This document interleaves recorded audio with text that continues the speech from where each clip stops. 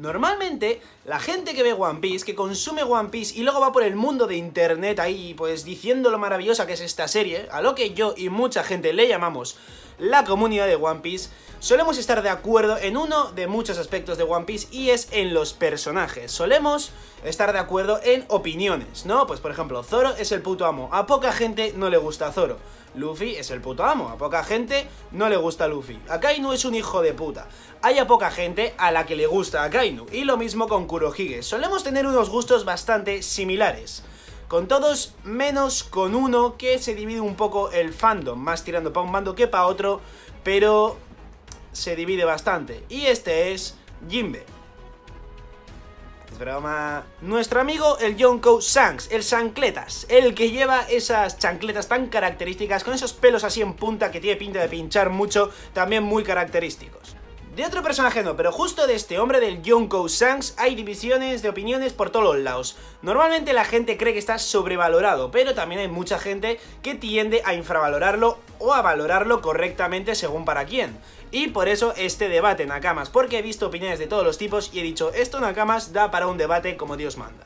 Resumiendo la opinión del fandom, están pues los que dicen está sobrevalorado porque un tío que perdió un brazo contra un, contra un monstruo marino no puede ser tan fuerte, no sé qué, y luego los otros está infravalorado por todo lo que dice Marineford, no sé qué, y bueno, pues básicamente los que lo infravaloran usan siempre la misma excusa y los que la sobrevaloran pues también un poco, pero he buscado así un poquito la diferencia, los comentarios diferenciadores, hay muchos comentarios obviamente y no puedo poner todos, pero aquí tenemos los, pues bueno, eh, la respuesta al tweet, primero voy a enseñaros el tweet Nakamas, en el que digo lo siguiente.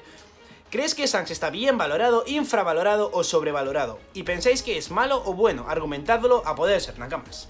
Lo de bueno o malo es pues porque como esto, ojo, por cierto, a los que estáis al anime, porque voy a hablar de una cosa que, que ha aparecido concretamente en el manga, con lo que, ojo, esto del bueno o malo viene a raíz de cuando lo vimos en Marilloa de repente, ¿no? Ahí con el Gorose, que nos quedamos todos loquísimos pero sinceramente la gente ha pasado olímpicamente de esta pregunta. O sea, todo el mundo si sobrevalorado o infravalorado. Ya está, y se han basado en eso. Así que esa parte la vamos casi a omitir porque nadie ha comentado sobre ello.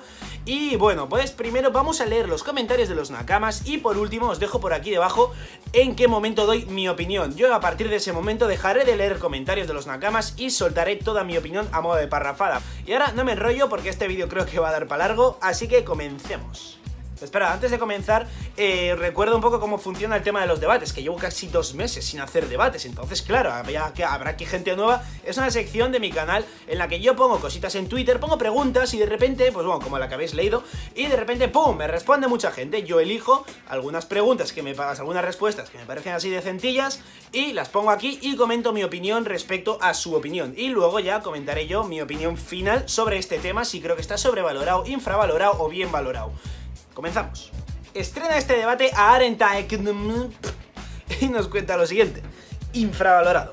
La gente dice que no ha aparecido tantas veces como para ser tan querido, pero tenemos que recordar que paró la guerra de Marineford, se presentó ante el Gorose y como si nada, fue capaz de estar de iguales con Shirohige y todo esto sin hacer uso de una fruta. Aquí, claro, es relativo, porque es que estás mencionando esa parte que la tiene infravalorada, porque es que hay gente que está infravalorándolo y gente sobrevalorándolo, pero hay poca gente, yo creo que realmente lo valora bien a Shanks. Esto es un tema confuso, pero que cuando explique yo mi opinión creo que va a quedar todo bastante claro. Y es que yo creo que el principal problema de esa gente que tiende a infravalorar a Shanks es que únicamente están basando un poco como en que no hemos visto nada, como tú has mencionado, no hemos visto nada de él, no hemos visto suficiente como para valorarlo bien o mal, pero es que claro, eh, obviamente es un personaje del que no hemos visto apenas nada, o sea, hemos visto tres apariciones suyas contadas y las tres, pues hay que admitir, eso es innegable casi que bastante épicas. Pero claro, un personaje siempre se puede valorar, aparezca poco o aparezca mucho. Se puede ver desde que no aparezca casi nada como, como Shanks, o sea, como Shanks o como Dragon, hasta uno que aparece un montón como puede ser Luffy. Cualquiera puede ser valorado. Lógicamente hay que valorarlo, eso sí, con los argumentos, pues un poco con las situaciones que hemos visto ya de él. Y quería llegar a que la gente que lo infravalora, yo creo que es porque cree que lo hemos visto muy poco como para echarle tantas flores como las que les echamos a algunos que para ellos los sobrevaloramos. Seguramente muchos de vosotros ahora estaréis, what ¿qué está diciendo este pavo? No me estoy enterando de nada. Es normal. Luis el del Gorro explica un poco lo que he comentado antes de que hay gente que cree que no puede ser todavía valorado. Y nos comenta lo siguiente.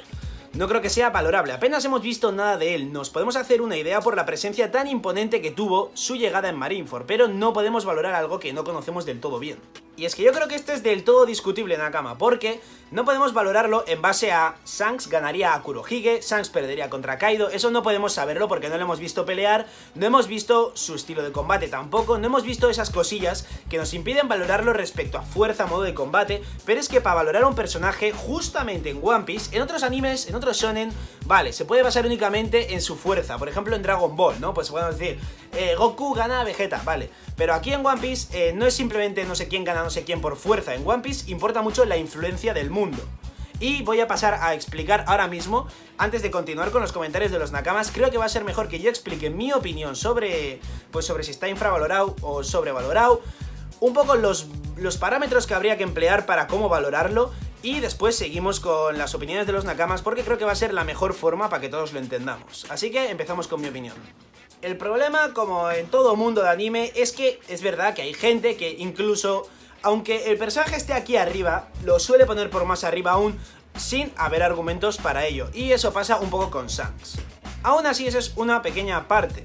Y por ello hay un sector del público que tiende a opinar que está sobrevalorado, porque hay gente que obviamente lo va a sobrevalorar diciendo que puede llegar a ganar a Kurohige, que es el Yonkou más fuerte, esas cosas todavía es imposible saberlas. Ahora, ¿por qué creo yo? Ojo que está bien valorado. Yo creo que está bien visto a ojos de la mayoría de la gente, ni infravalorado ni sobrevalorado. Yo creo que es un personaje que la gente, para lo poco que le hemos visto, está correctamente idealizado.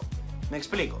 Respecto a tema fuerza, pelea, es difícil, por no decir imposible, dar una opinión, o sea, una opinión no, una valoración lo más objetiva posible, porque simplemente no le hemos visto pelear. Lo único que hemos visto ha sido un choque que ha hecho contra Kainu y otro choque que ha hecho contra Shirohige, que precisamente débiles no son, pero no hemos visto nada más que un choque de espadas, no le hemos visto pelear, con lo que obviemos el nivel fuerza. Eso quitémoslo y pasemos a las otras cosas que hay que valorar.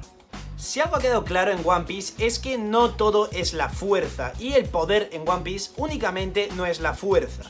En One Piece es muy importante también pues el acceso a los lugares, como pueden ser los Tenrubitos o los Nobles Amarilloa, como puede ser los contactos, como tenía Kaido con Doflamingo, que tenía un negocio que a Kaido le potenciaba mucho al final a su tripulación y un poco su negocio.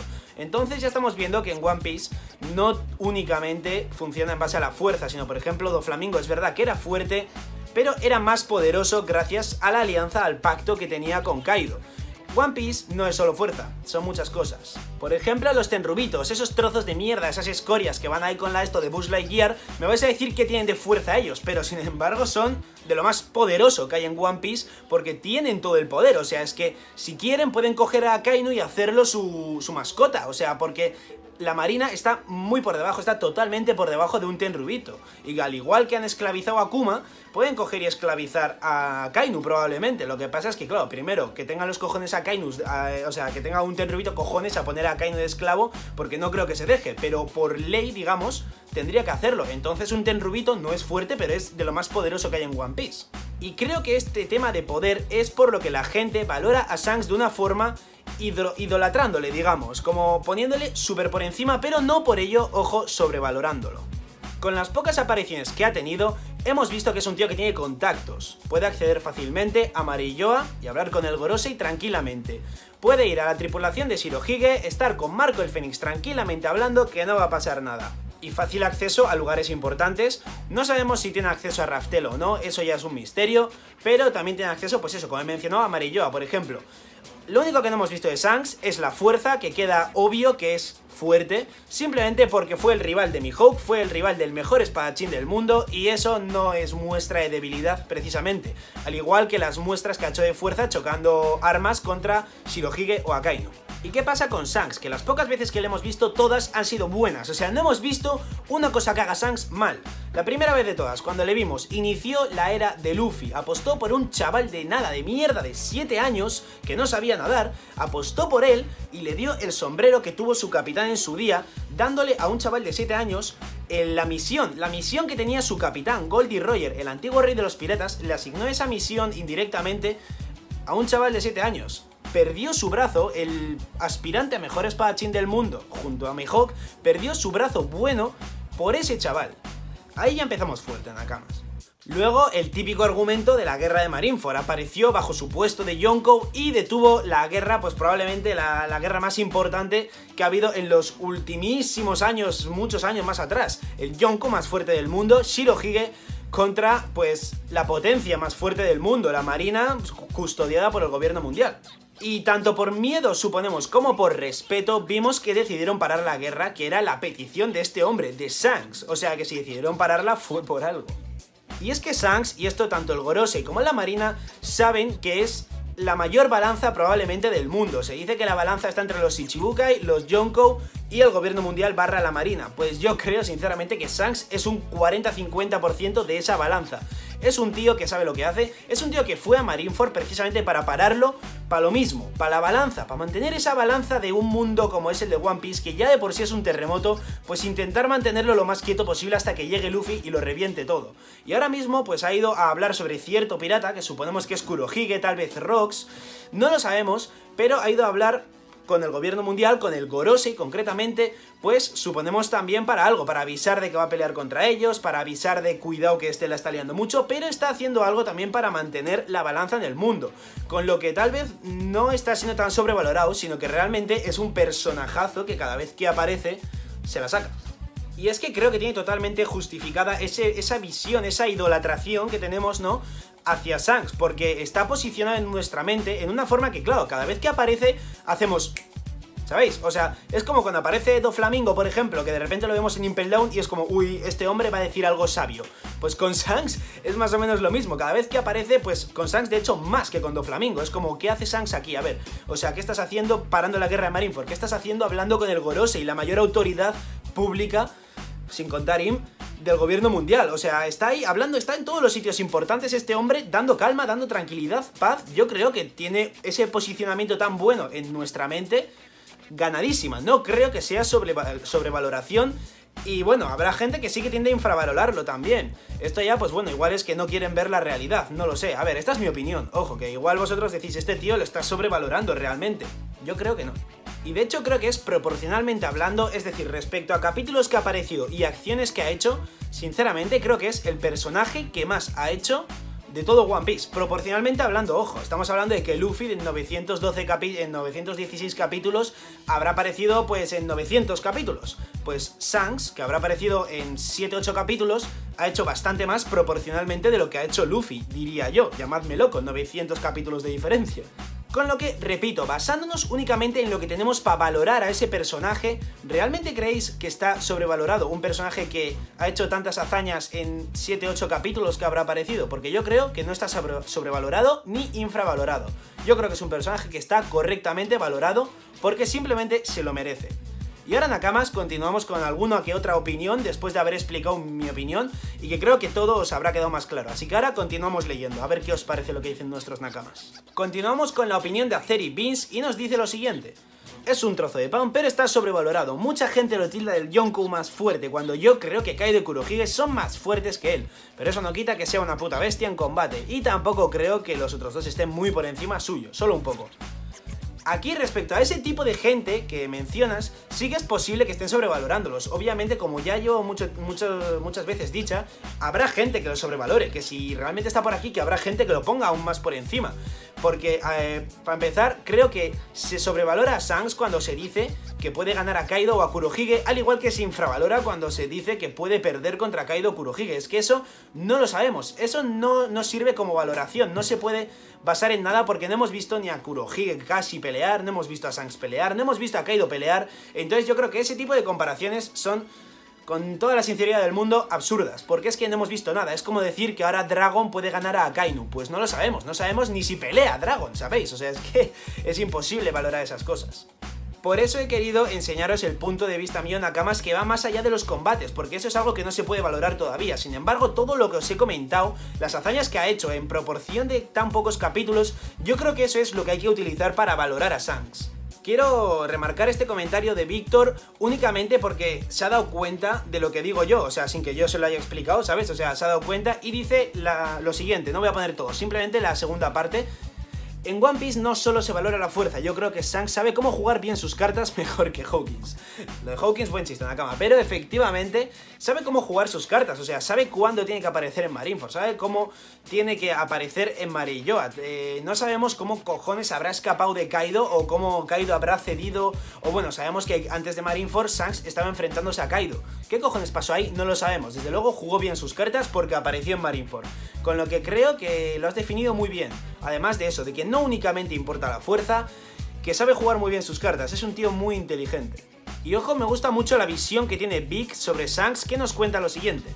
Personaje hecho para guiar al protagonista, personaje hecho para agradar al que lo lee. No lo considero sobrevalorado porque es su misión en el manga, está para ser un referente del protagonista.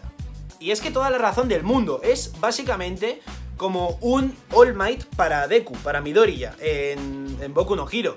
Es como eso, es como el personaje idealizado, pues al que Luffy sigue. Bueno, eso al principio, cuando era chavalín. Ahora ya, pues Luffy ha adoptado sus propios valores que se asemejan más a los de Roger. Como que Roger y Shanks tienen valores similares, pero bueno que Roger y Luffy son un calco, aunque al principio es verdad que se basó totalmente en la ideología de Shanks. Shanks es un pirata que le vemos totalmente libre, o sea, no se ata a nada, es un tío que no, no, cumple muchas misiones, o sea, cuando tiene que hacer un deber como pues eso, parar la guerra, ir a hablar con el Grossy, lo hace, pero de normal el tío está emborrachándose tranquilamente en su islita por ahí, porque claro, es un Yonko, tiene territorios, pues estará en una de sus islas por ahí, tiquití, la mayoría del tiempo. Y eso es en gran parte la libertad. Y al final Luffy dice eso, que el rey pirata es el hombre más libre del mundo. Entonces, seguramente ese concepto de libertad, de que lo más importante es la libertad, realmente lo ha heredado de Shanks. Lo ha aprendido de Shanks de cuando, era, de cuando Luffy era un chavalín y Shanks le hacía visitas. Entonces yo creo que tienes un muy buen punto de, vista, digamos, ¿no? Shanks realmente es el referente de Luffy. Entonces un referente de un protagonista no puede ser alguien... alguien muy indecente, digamos, muy paquete, ¿no? Es como si All Might, el de Boku no Hero, pues es un puñetero paquete o no tiene buenos ideales. Simplemente es un, tiene que ser un pedazo personajazo para que el protagonista encuentre inspiración en él. Con lo que Nakama me gusta tu aportación.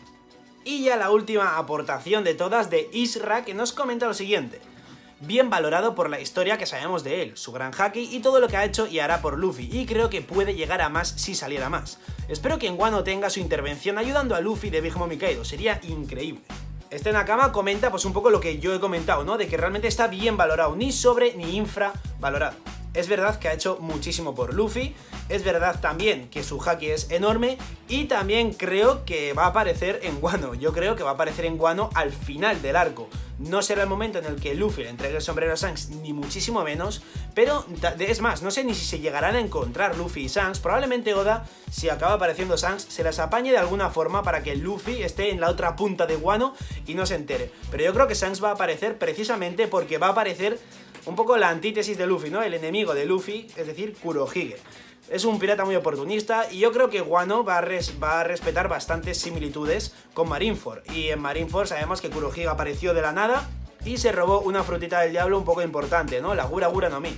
Pues yo siempre he dicho que creo que va a obtener la Kuma no Mi de Kaido. De Big Mom no sabemos qué cojones va a pasar, yo creo que con Big Mom sí que se irá, y sobrevivirá para luego Luffy que vaya a Whole Cake o bueno, o en el propio Guano le derrote, yo que sé, de Big Mom no quiero pensar ahora, pero yo creo que Kaido va a morir en Guano porque además Kaido quiere morir y es que pega mucho que muera, yo creo que los Yonkou deben morir al final, si no, es como que los Yonkou son un poco la malicia del mundo, ¿no? Quitando, quitando Shanks, pues son un poco la malicia, entonces deberían morir. Y Kaido, que precisamente quiere morir, y Kurohige, que, quiere frutas fuertes, pues yo creo que Kaido tendrá la zona más fuerte, con lo que robarla y que tenga ya la logia, la paramecia y la zona más fuerte, pues bueno, pues sería muy top, ¿no? Entonces yo creo que Kurohige aparecerá precisamente para eso, como buen pirata oportunista que es, aprovechará la muerte de Kaido o lo rematará él para llevarse la frutita. Y ahí aparecerá Shanks para quién sabe si hacer ya un enfrentamiento a muerte, si un enfrentamiento que se quedará pausado, si nos quedaremos ahí con la intriga. No se sabe, eso sí, la primera aparición que tenga Shanks de pelea no va a perder, porque un personaje por el que nos ha metido Oda tanto hype y nos lo ha dejado tan arriba, no puede perder en el primer combate, con lo que yo creo que se lucirá y ya más adelante sí que morirá a manos de Barba Negra, pero no en Guano. Me parece demasiado pronto para una muerte de Shanks. Y nada más, Nakamas, hasta aquí ha llegado este vídeo. Lo siento si al principio estaba un poco espeso, será la, falta de práctica de grabar tanto vídeo. Ahora ya estamos en septiembre y volvemos un poco a la rutina. Ya vamos a, ya voy a ir cogiendo carrerilla, pero al principio del vídeo he de admitiros que estaba un poco espeso, no sabía cómo tirar, por dónde tirar, pero al final yo creo que ya desde que he dado mi opinión lo he encarrilado bastante bien. Así que Nakamas, muchísimas gracias por ver este vídeo, por quedaros hasta el final y soportarme. Regaladme un like si os ha gustado el vídeo y suscribíos si todavía no lo estáis, Nakamas. Un saludo y hasta mi próximo vídeo.